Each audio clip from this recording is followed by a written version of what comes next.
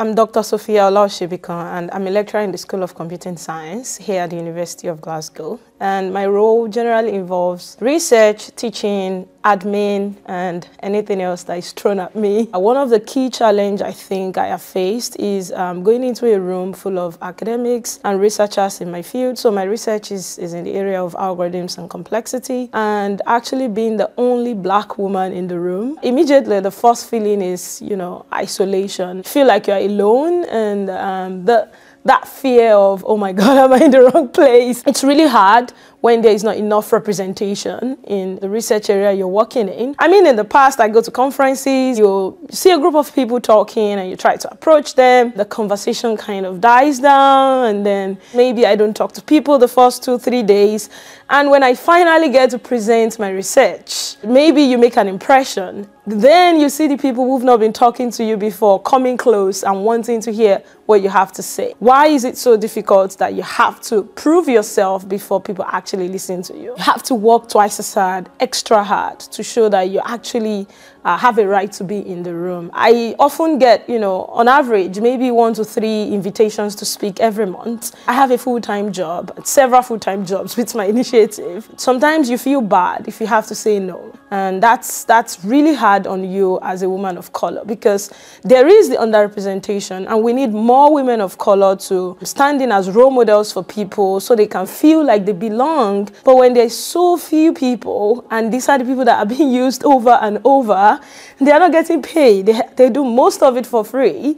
And uh, it can get very difficult very quickly. My first advice would be you seek, seek help from people. You know, if you have an idea and you think that you deserve to be in academia, you enjoy, you're passionate about this, reach out to people who are probably doing what you expect that you want to be doing at a later time in the future and ask lots of questions. And use that to identify your interest and your the, the aspect of academia that you think would most suit you. Surround yourself with good people positive people.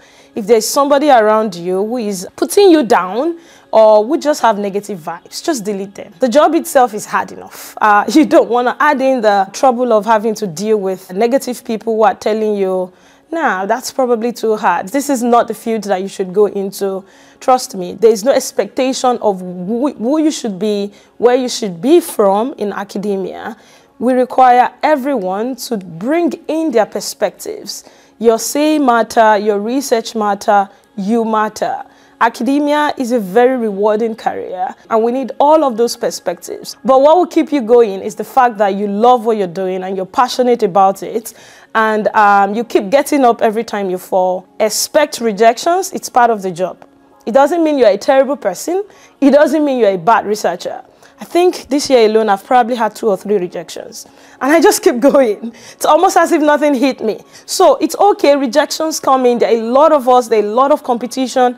A lot of papers get published or get sent to publishers every day. If yours doesn't get accepted, it doesn't mean you're a bad person. You just have to look at the next uh, venue or the next opportunity. In general, it's important to have a community uh, supporting you, irrespective of uh, the race or the gender. In general, when somebody just tells you something positive about yourself, it helps.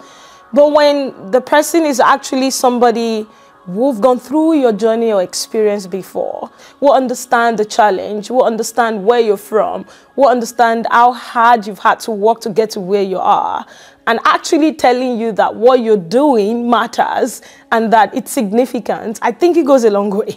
This is something I often do to people I meet, maybe students or, or just within the Nigerian community at the University of Glasgow. Acknowledging how hard it was for me um, to get scholarships, to leave my home country, to get to where I am now. Oftentimes when I see students at the University of Glasgow who are probably doing their masters or maybe undergraduates and uh, who are in places that is, you know, I, I could not even see myself when I was at their career um, stage. I, I let them know that they are amazing and, um, and that what they are doing matters. I certainly think that, that the Black History Month matters, particularly because it highlights key achievements of underrepresented groups, people who have had to go through challenges to achieve what they've achieved. When you put stories of those people out, I think it goes a long way in inspiring other people, other young generation.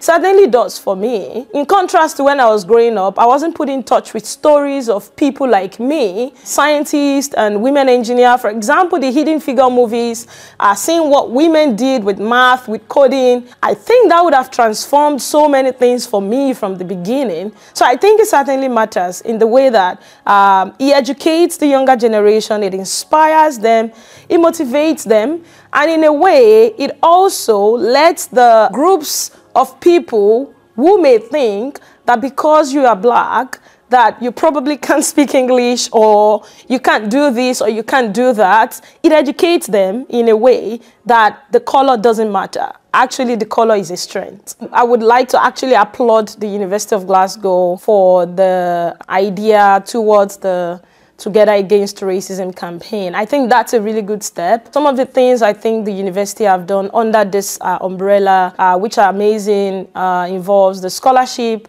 uh, particularly the James McCune Smith uh, PhD scholarship for Black UK students. I think that's really good. There have been several training courses as well. For example, the effective bystander, which I have taken uh, as well, which lets you know how you can start forming bias against someone without knowing unconsciously. As well, there's the decolonizing the curriculum, which helps to cut off systemic racism. But of course, there's always room for more. This is in terms of hiring. For instance, when I had my interview, my job interview, I believe everyone on my panel was white, which wasn't a problem. Uh, these are really good people that genuinely want my growth. So I felt comfortable and at home with them. Something the University of Gla um, Glasgow could consider is including black academics and making sure that they are included on the hiring panels. And in a way, this would help avoid unconscious bias which could potentially come up. One, one other idea I have uh, involves University of Glasgow itself. It's hard for me to actually identify the people who are black. So maybe if there is a page that just highlights black and gifted at U of G, I don't know, I just came up with that. Uh, that would show that the University of Glasgow is actually also proud of its black community and that they are not just uh, putting up training courses and the likes online. It's active, active uh, support and um, visibility